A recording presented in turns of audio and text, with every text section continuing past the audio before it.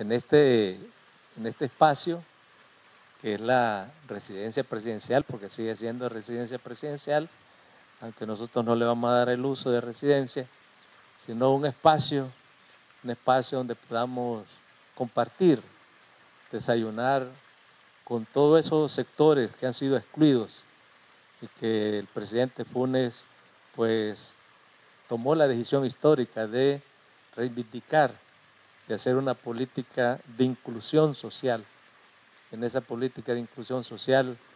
fueron incluidos los niños, los adultos mayores, las personas con discapacidad y ahora pues queremos incorporar a las familiares víctimas del conflicto armado, con la cual pues tenemos una deuda histórica que saldar. Los temas que tienen que ver con el, los temas que tienen que ver con toda la parte de eh, rehabilitación, pues están establecidos en la ley.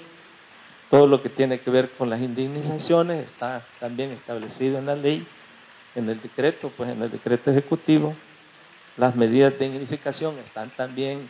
específicas en el decreto 204 y las garantías de no, de no repetición.